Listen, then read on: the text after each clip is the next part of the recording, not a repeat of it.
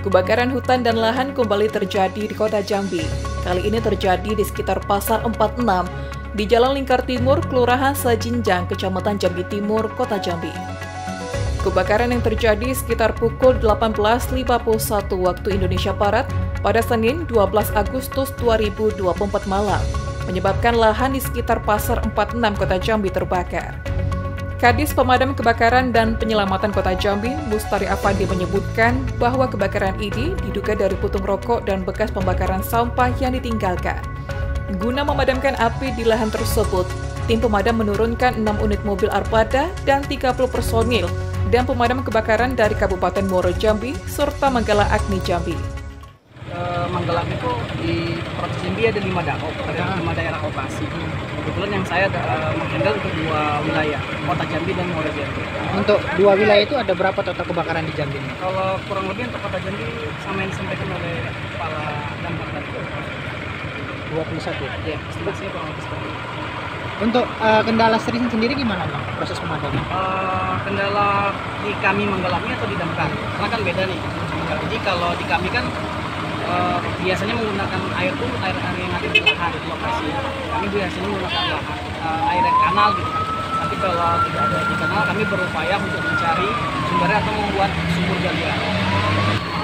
Baik uh, untuk masyarakat mau kalau bisa sama-sama saling menjaga lingkungan. Terutama kalau yang rumahnya berbatasan ataupun banyak lahan bakar sampahnya hati kalau bisa dibagi kasih alas seperti drum bisa dibakar di atas di dalam drum terus kalau untuk pemancing juga kurang-kurang dalam mancing itu saat ini karena kami beberapa kali sedang di lokasi yang mancing-mancing lah, yang madam-madami lah, kayak tidak punya hati gitu lah. Jadi minta tolong untuk para pemancing, kurang-kurangi lah kondisi saat ini, kondisi kemarau tolong dikurangi. Karena tidak enak rasanya ketika teman-teman sedang mancing, kami sedang madami, lain rasanya. Jaraknya tidak begitu jauh.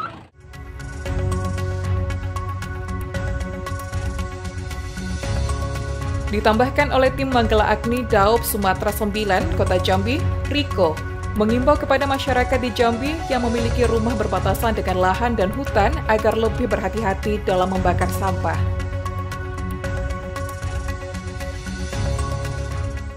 Nah, pada malam ini kami menerima laporan dari masyarakat pukul 18.51 adanya lahan terbakar di kawasan Muda kalau diperkirakan ini kurang lebih 0,5 hektar tapi dugaan itu adalah dari pembuangan rokok atau pembakaran sampah yang ditinggalkan. Kebetulan ini memang dekat dengan uh, pasar makam. Yang biasa kita masyarakat dan sangat berhubungan dengan listrik yang satu listrik kita menggunakan enam armada dan juga dengan 30 personil di backup juga dengan pemadam kebakaran dari Kabupaten Muaro Jambi dalam perbatasan dan juga dari Anggala Agni dan saat ini kami juga mengimbau kepada seluruh masyarakat dengan kondisi kemarau ini jangan sekali-sekali membuang rokok sambil jalan ataupun membakar sampah yang ditinggalkan. Nanti akan berakibat fatal dan selanjutnya juga kepada pemilik lahan.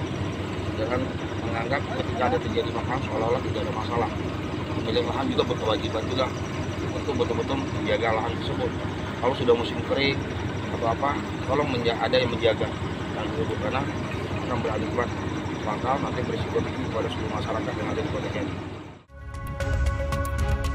Sandi, Cek TV melaporkan.